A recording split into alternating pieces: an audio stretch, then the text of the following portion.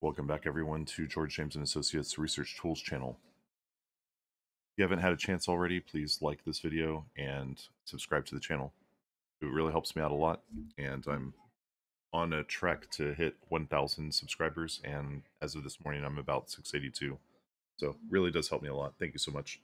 All right, in this video, I want to look at how to compare journals within your field. And today I'm going to be looking at finance and economics because um, those are two of the more popular AACSB fields, which is a separate accreditation that business schools will have across uh, the world, not just the United States.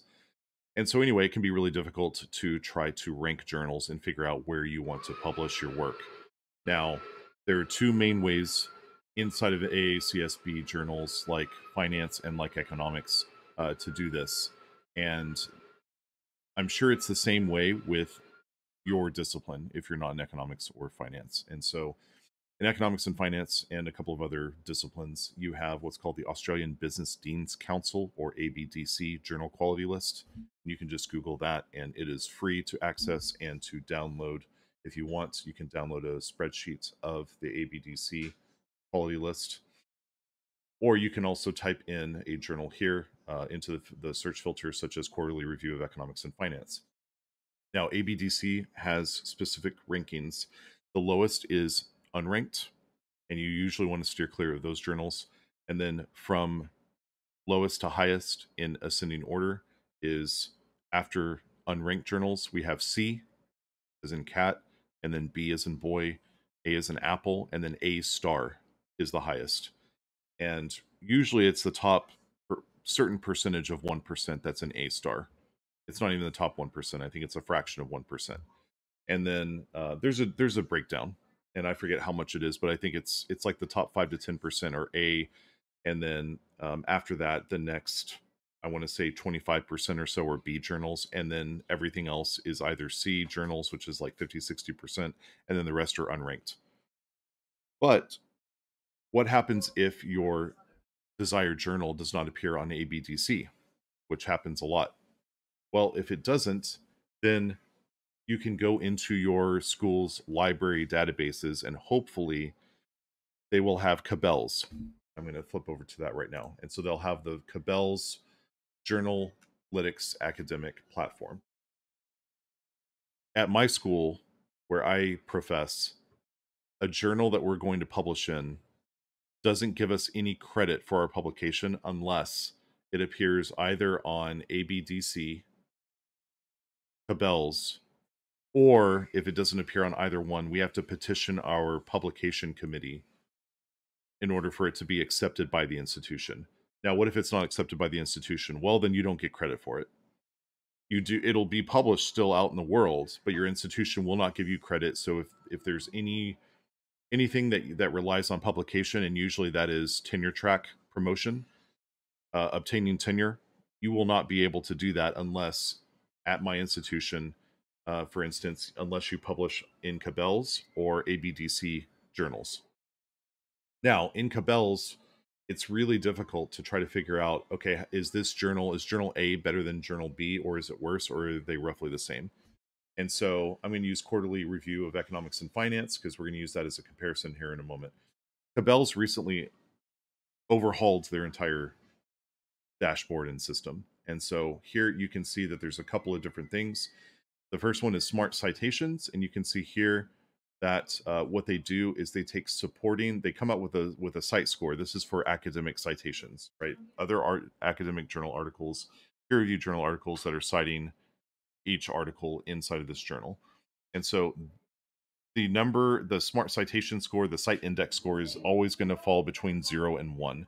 The higher, the better. And so what they do is they take supporting citations and they divide that by supporting plus disputing citations. So in this case, it's 1479 divided by 1479 plus 164. And that, that's how you arrive at 0.900. Now, what about further reach? People who aren't academics. Well, there is media mentions here, and it's produced by Altmetrics. And so um, this is simply the number, the average number of media mentions that each article in that journal um, attracts.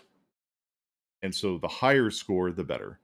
Now, how do we weight these two? I came up with a total composite score for Cabell's because they used to have a Cabell's classification index that you could then use to compare journals within the same discipline. But here they seem to have gotten rid of that for whatever reason. So I came up with my own total composite score. Excuse me.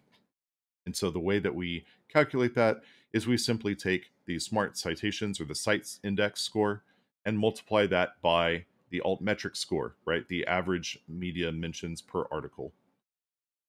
And so that's what we're what we're doing is multiplying this number times this number.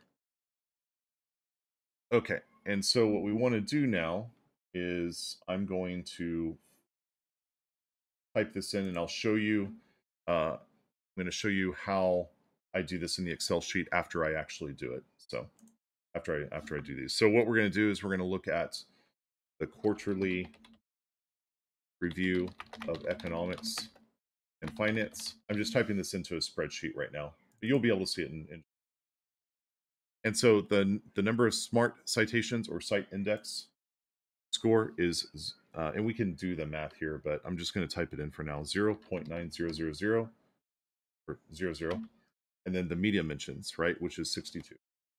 And so the total composite, we are simply taking the citations times the media mentions. All we're doing. And we arrive at a total composite score of 55.8. Now, let's look at the flagship journal in finance, which is the Journal of Finance. And I'm going to move over here to Cabell's.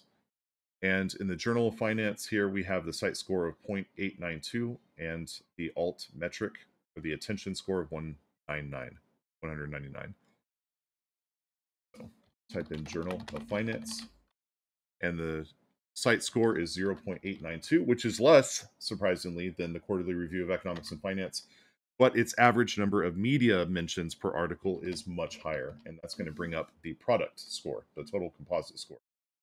Once again, we're going to simply calculate uh, the product of citations and media mentions, so 0.892 times 199 equals 177.508 let me show you this really quick. And then what we're going to do is we're going to go and we're going to compare it to the ABDC ranking.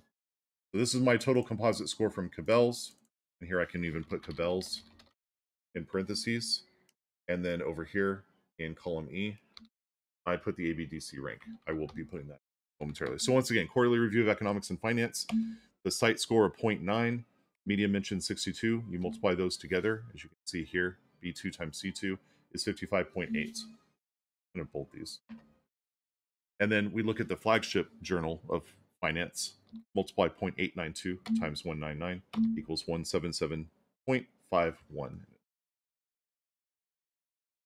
Simply, oh, other way, sorry, there we go. We want to round to the nearest hundredth. If we want to round even further, we can just do, all right, 55.8 time or compared to 177.5. And you can see here that that means that if we use the total composite um, from the scores we get alpha of Cabell's, then it looks like the Journal of Finance has a total impact of about a little over three times, right? You can we can even take this and divide it by that. Yeah, 3.18 times more impact, right? So maybe we say the impact difference or impact differential 3.18 times. So the Journal of Finance is about 3.18 times as impactful. Publishing in the Journal of Finance is about 3.18 times more impactful than publishing in the Quarterly Review of Economics and Finance. Now, if we go to ABDC rank for the respective journals, so the Quarterly Review of Economics and Finance, it has a B rating, right? So one, that's about the middle. Because again, remember the lowest is unranked, and then above that is C, then above that is B, above that is A, and then above that is A star.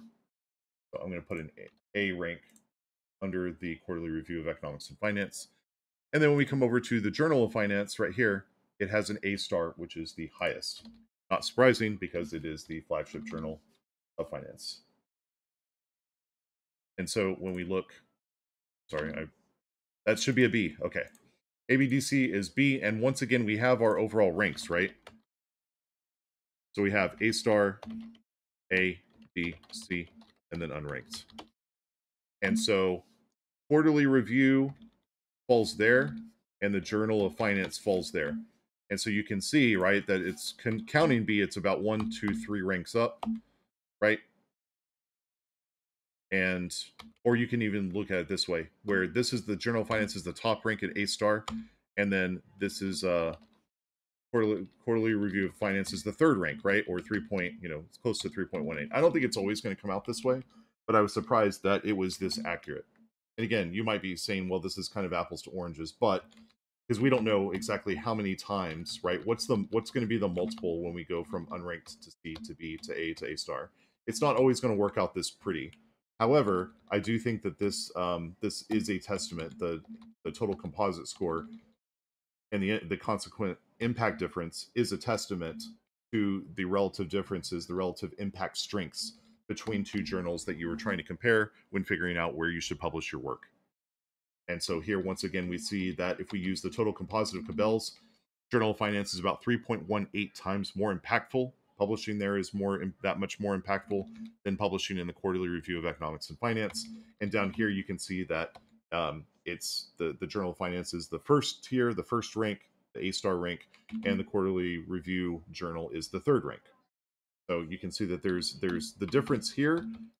I think is reasonably similar to the difference here, and so I wanted to to show you that um, so that way you can go back and figure out um, on Cabell's if your journal does appear on Cabell's, then you can uh, the two journals you're comparing you should be able to calculate the impact difference feel free to rewind this video and watch it again of how I got that.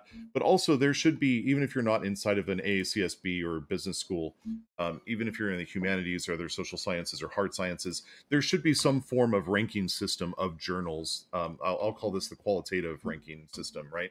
A star, A, B, C, unranked. There should be something similar to this in your own discipline. And then what you can do is you can do exactly what I did here, where you can take the qualitative ranking system, A star, A, B, C, mm-hmm. and then you can take a quantitative ranking system from Cabell's to arrive at the total composite. That's once again simply multiplying the citations or the cite score times the altmetric score or the media mentions to get the total composite score. Then you can compare those two. You can even divide the larger one by the smaller one to see what the impact difference is as a multiple. Hopefully you found this video insightful. Again, please like and subscribe, and you can also go to my channel and watch tons of other videos that I've produced um, for budding academics such as yourself. And please put down in the comments what videos, types of videos you would like to see me do next. Thank you all so much, and I'll see you next time.